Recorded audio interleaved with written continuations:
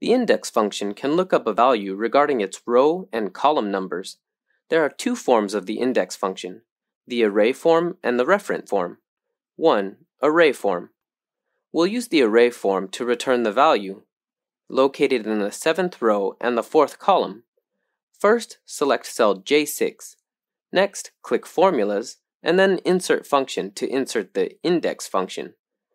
The function syntax is index, array, row number, column number. The first parameter, array, refers to the array for value lookup. Here we select A3 to G13.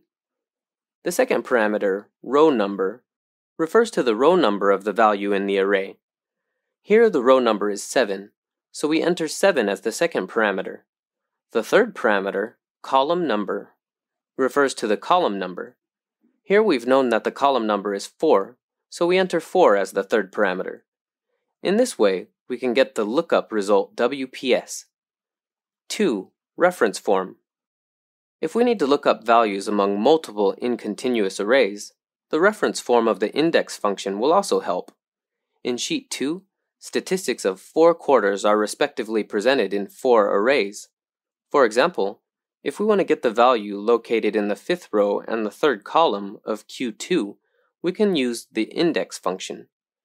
The function syntax is index, array, row number, column number, area number.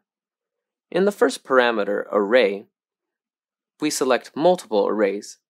Cell A3 to C9, E3 to G9, I3 to K9, and I13 to K19. Note that parentheses are needed.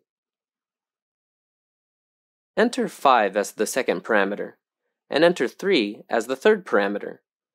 The fourth parameter, area number, refers to the array for value lookup. Take the first parameter as an example. A3 to C9 refers to array 1, E3 to G9 refers to array 2, I3 to K9 refers to array 3, I13 to K19 refers to array 4. Suppose that the value we want to find is from Q1, then enter 1 as the fourth parameter. If we want to find the value from Q3, enter 3 here. The index function allows us to look up values from various arrays when processing lots of data. In the previous part, we've learned how to return a single value with index. The index function can also return a whole row or column of data. For example, if we want to return the fifth row data of Q2, select cell A16 to C16 and enter the function equals index A3 to C9, E3 to G9, I3 to K9, I13 to K19, 5, 2. If we want to return all values in the whole fifth row, enter 5 as the second parameter and leave the third parameter blank. Press enter, the result will be error. As index is an array formula, parentheses are needed to enclose the array formula.